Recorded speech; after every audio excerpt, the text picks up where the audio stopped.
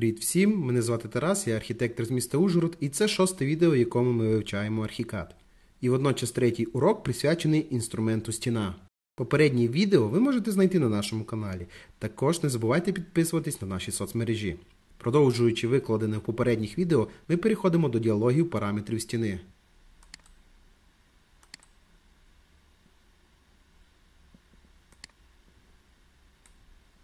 В них більше налаштувань, ніж в інформаційному табло, і частина з цих налаштувань продубльовано. Дане вікно поділено на декілька панелей.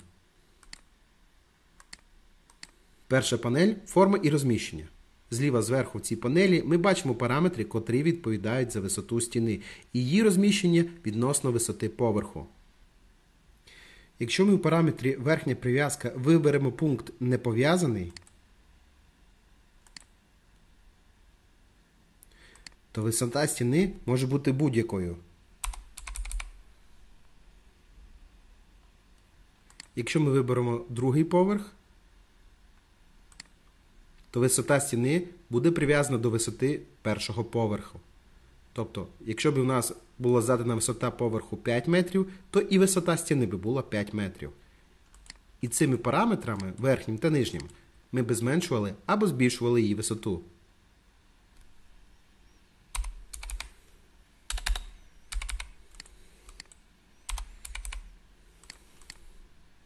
Якщо вибрати третій поверх, то висота стіни буде прив'язана вже одразу до двох поверхів. І чим більше поверхів ви зробите в себе на налаштуваннях, тим більше поверхів тут буде світитися. І стіна буде прив'язана до котрогось із них.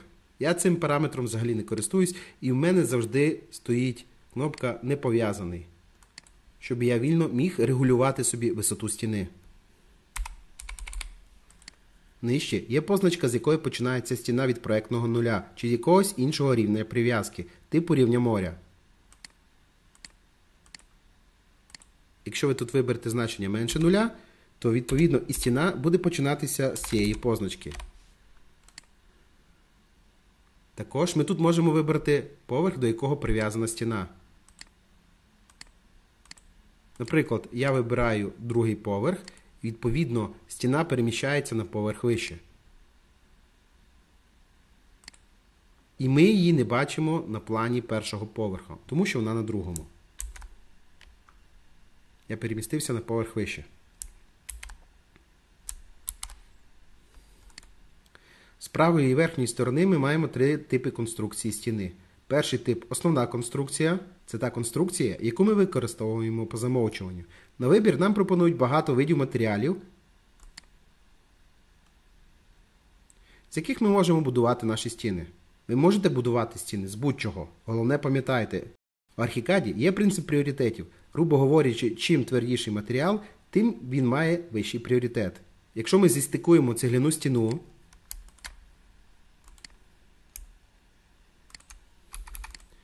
та, наприклад, стіну зі сталі, то стальна стіна умовно розріже цегляну.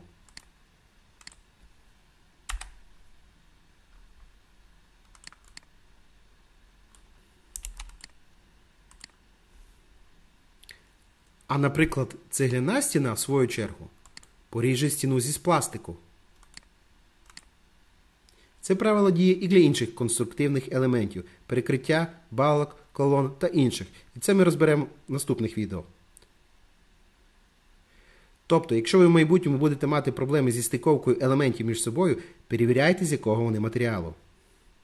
Нижче вибору матеріалів стін ми бачимо рядок з геометричними варіантами побудови стін, про які ми говорили на минулому уроці, та значення товщини стіни. Ще нижче показані варіанти побудови похилих стін рівна, під кутом чи у формі трапеції.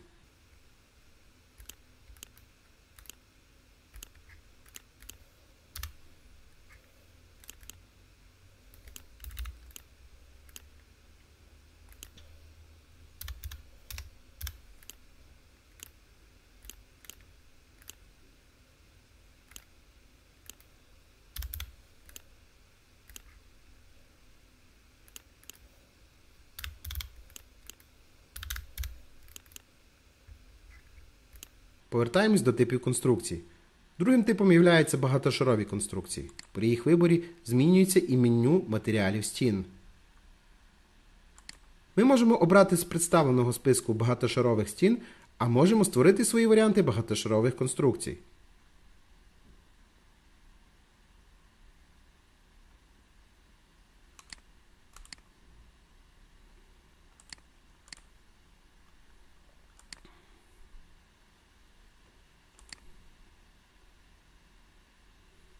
Але про цю функцію ми поговоримо в одному з наступних відео. Якщо ви початківець, типів багатошарових стін вам має бути достатньо.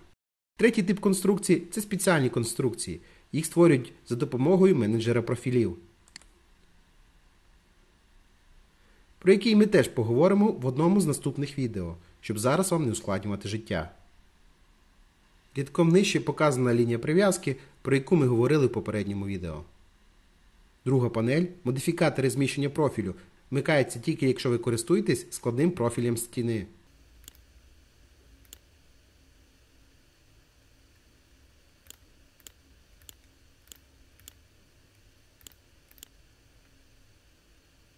Третя панель відображення на плані та розрізі. Ця панель загальна для конструктивних елементів типу колон, балок або даху. Перша вкладка показ на поверхах. Тут два пункти. Перший показ тільки на своєму поверсі. Це значить, якої б висоти не була ваша стіна. До прикладу, креслимо стіну висотою 6 метрів. Її архікад буде показувати тільки на тому поверсі, на якому ви її накреслили, в незалежності від встановленої висоти поверху.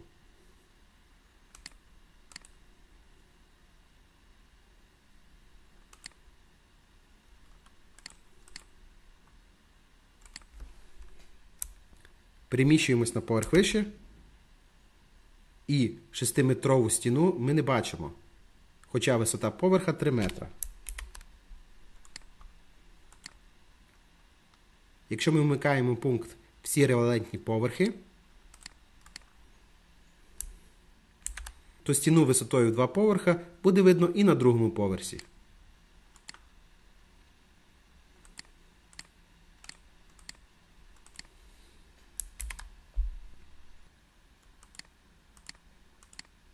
Друга вкладка показ на плані поверху. Це різні види проекції стіни. Їх доречно застосовувати у різних ситуаціях при різних висотах стін. Суть питання в тому, що архікад працює одразу в 3D та 2D просторах, і площина січення поверху, в якому ми бачимо наш план, знаходиться на висоті 1,10 м по замовчуванню.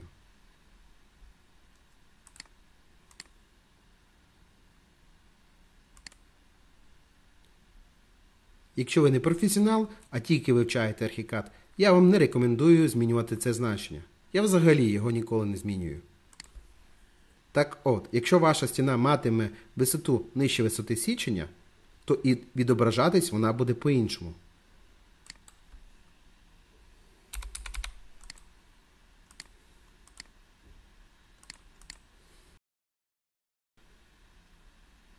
Навіть різні елементи типу вікон чи дверей не будуть показані на такій стіні в плані.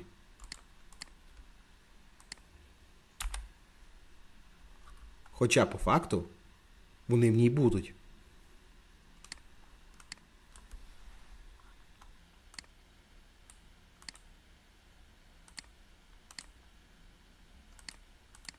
От для таких випадків і існують різні покази на планах.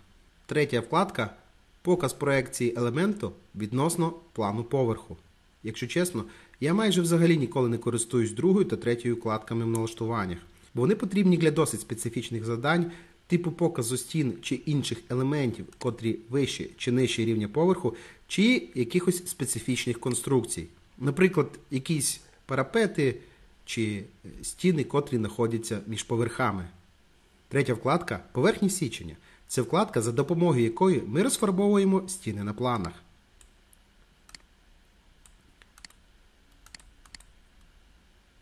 Лінії січення це лінії по периметру наших стін. Зі списку ви можете обрати необхідний вам тип лінії. Також ви можете обрати перо і товщину лінії.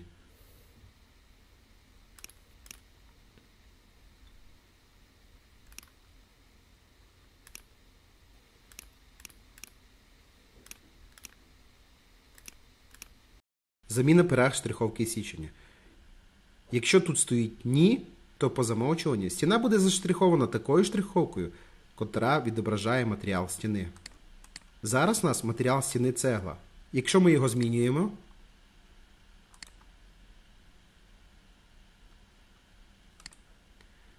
то змінюється відображення стіни на плані.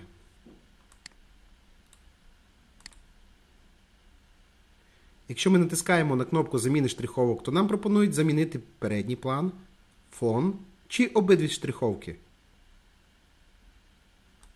При цьому з'являються кнопки вибору пера штриховки.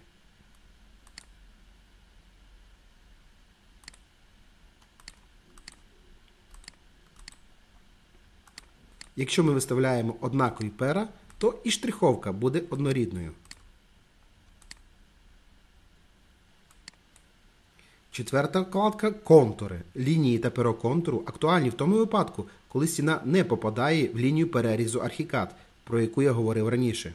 Тобто, якщо в нас лінія перерізу на висоті 1,10 м і стіна має нижчу висоту, то лінією контуру ми показуємо її відображення.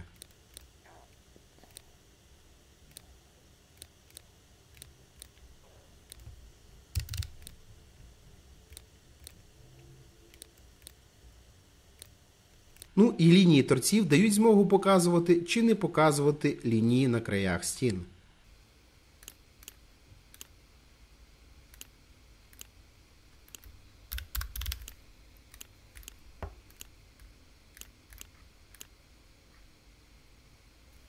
Четверта панель модель.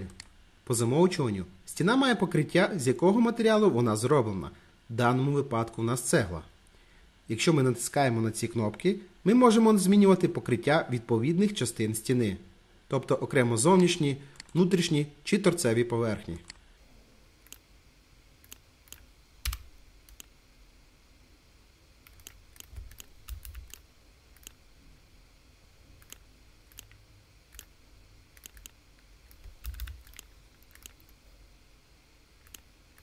Або можемо, натиснувши кнопку Зв'язати, одразу змінити всі поверхні.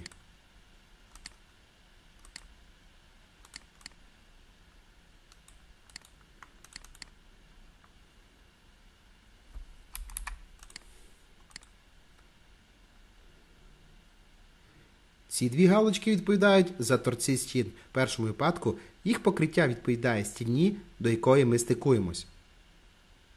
В другому випадку прив'язуємо текстуру до країв стіни.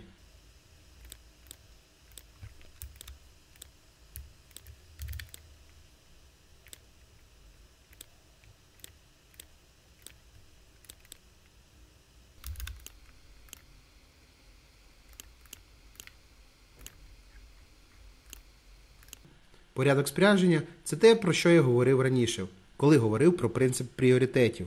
В цьому випадку завжди пріоритет має елемент, в якого вище це значення.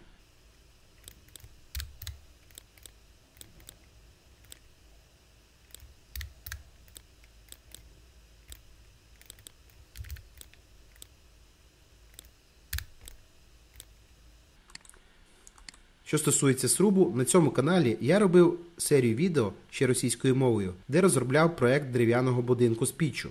Там все детально розказано про роботу зі срубом та проєктуванням таких будинків в архікаді. Тож, якщо вам цікава ця тема, або клікайте на спливаючу підказку в правому верхньому куті, або посилання буде в описі під цим відео. Про кнопку відношення до зон ми поговоримо на відео про зони в архікаді. Інші панелі в цьому вікні для вас не актуальні. Вони іноді потрібні професіоналам, глибоко зануреним в архікад. Ну і найнижча кнопка присвоює стіні якийсь шар, і ви можете його змінити відповідно до ваших потреб, коли, до прикладу, необхідно сховати якісь стіни.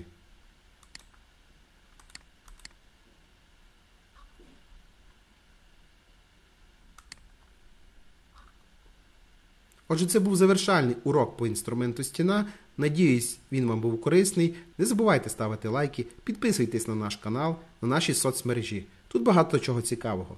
Удачі вам! Бережіть себе!